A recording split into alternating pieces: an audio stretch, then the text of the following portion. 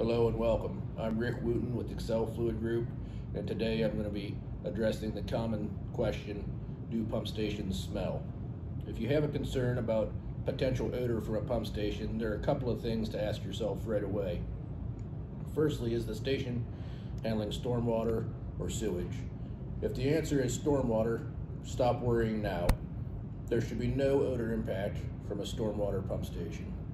If you're dealing with a sewage lift station that's been properly designed and maintained, you still really shouldn't have an odor impact.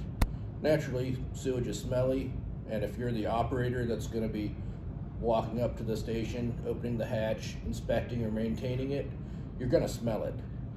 But normal operation, properly functioning, you shouldn't have any issues.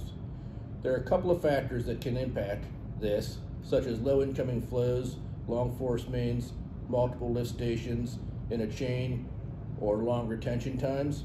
The basic problem in these scenarios is that the sewage goes septic and emits H2S gas. We just call it going bad. In this case, it does smell and the odor can get out of the pump station and be a problem in the, in the immediate area. Fortunately, there's a couple of means of mitigation. Charcoal filtration on the vent pipe is a common method and it's reasonably effective.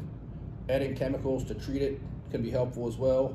The means that we consider the most effective is to use an aeration blower, such as the Wet Well Wizard. These systems aerate the sewage, and they're an effective means of keeping it from going bad or gassing off. So, in conclusion, stormwater pump stations don't smell. Sewage lift stations that have been properly designed and maintained, they don't smell either.